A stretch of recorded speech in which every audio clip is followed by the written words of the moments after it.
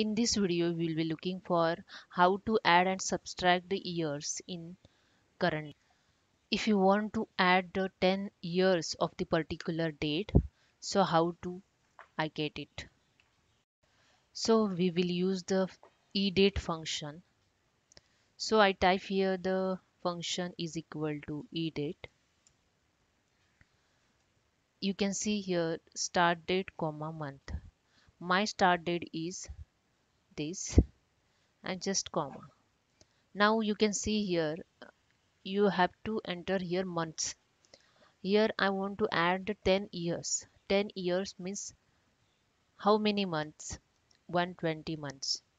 So I just enter 120 and bracket close. You can see here the 10 years added here 2023 to 2033 Similarly, you can use here is equal to e date. Select the start date, comma. You can use here different way. Just select the cell minus 10 into 12. I'm using here the uh, different way because you can see here the minus 10 into 12 is 120 month so you can close the bracket and enter.